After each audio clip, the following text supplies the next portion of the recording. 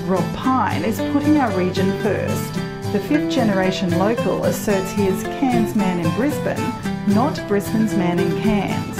Mr Pyne has consistently achieved great positive outcomes, and one thing he despises is the major parties and their lack of support for the far north. Take a look at this as he drives the message home.